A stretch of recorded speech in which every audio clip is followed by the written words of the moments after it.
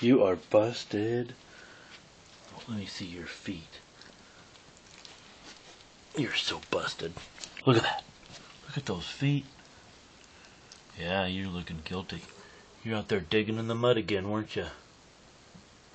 Out there digging in the mud by the new fence, trying to get out.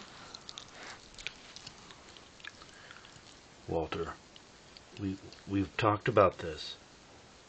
It's inappropriate. It's unacceptable for you to be digging over there. We know you're trying to go look at the girls next door, but we just can't have it anymore. Do you understand? No more digging in the mud. I mean, you're a really good boy and you get really good grades in school, but the digging in the mud, this is the last time. Alright. Won't be able to see Sally anymore if you do it again. You understand? And your back paws are atrocious too, by the way.